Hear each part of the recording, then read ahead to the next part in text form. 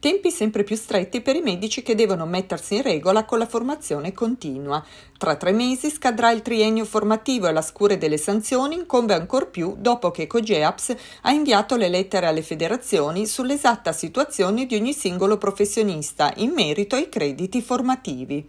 Spetta ora agli ordini prendere provvedimenti nei confronti dei medici non in regola. Devo dire le percentuali di inadempienti o di, o di colleghi senza nemmeno un credito si sono ridotte in maniera drammatica, questo va detto, eh, però purtroppo ci sono ancora molti eh, molti colleghi che non sono certificabili. Diverse iniziative sono state portate avanti dalle federazioni e dai singoli ordini per far capire ai professionisti che esiste un obbligo formativo, eppure tanti hanno ignorato il tema ed ora rischiano avvertimenti e sanzioni. Io personalmente sono sempre stato convinto che il sistema ECM dovrebbe essere un sistema premiante, cioè se uno eh, realizza eh, i crediti ECM e addirittura magari mh, eh, in più del necessario deve avere degli incentivi e deve essere additato come una persona particolarmente brava, non il contrario che se uno non li fa viene punito. Io sono per una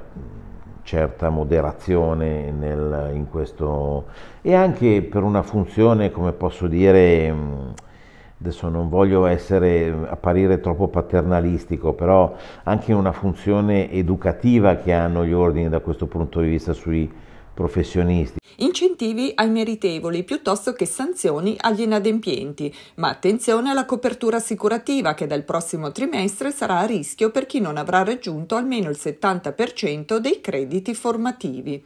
Per questo Omceo Milano punta su un programma nutrito di corsi per invogliare anche i più indisciplinati a mettersi in regola. Sì, noi abbiamo, siamo partiti con un programma davvero nutrito di formazione a distanza. Eh, adesso stiamo rimettendo in piedi alcuni eventi residenziali, forse riusciremo anche prima della fine dell'anno eh, a farne qualcuno. E, e, peraltro abbiamo sempre avuto e ne faremo altri eh, una formazione a distanza sincrona eh, che comunque eh, anche quella dà crediti.